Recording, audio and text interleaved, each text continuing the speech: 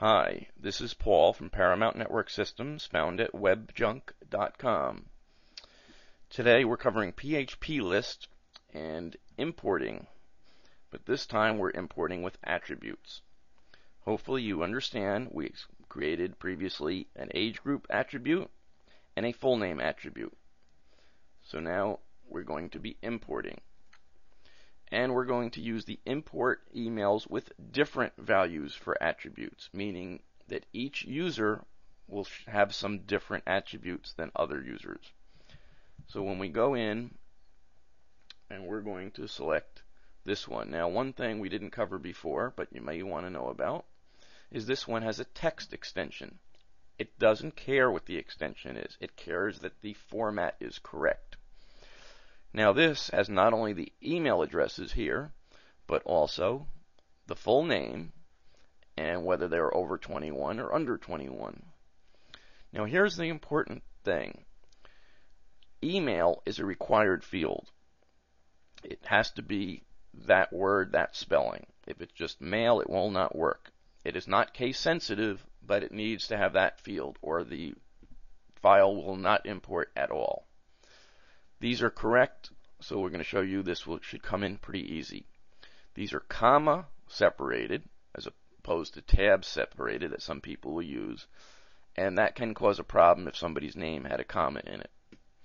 The other thing is that when you're using things like over 21 and under 21, it's a select attribute field. So if this is not correct, you're going to have problems. So you need to make sure that these match. Uh, now we're going to go and import. So now we're going to import emails with different values. Here we're going to select our list, our cigar magazine. We're going to browse and select our nomap.txt. Field delimiter, default this tab. In this case, we're going to use a comma. The record delimiter is a line break, which it is. We're going to test the output. Want to see if there's any problems before we start importing a large list, and we're going to show any warnings for invalid records, which could be if that field was wrong. Now, the other thing we're going to do for now is we're going to make confirmed immediately so that we don't send any confirmation emails, and then we don't need to throttle. So now we click on import. Now you see there's a summary here. Full name maps to full name. Age group maps to age group. This is just showing that it successfully recognized the attribute fields. And it says four lines will be imported.